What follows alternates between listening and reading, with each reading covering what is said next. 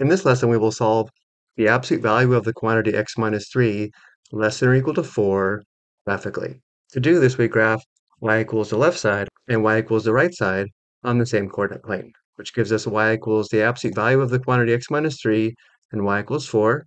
Recall the graph of an absolute value function is in the shape of a V.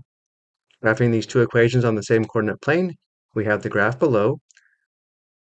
Notice the points of intersection are negative 1 comma 4 and 7 comma 4.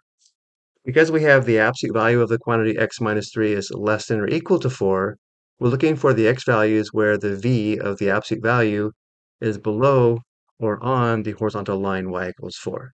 So because of the equal part, we do include the x values of the points of intersection, which are x equals negative 1 and x equals 7.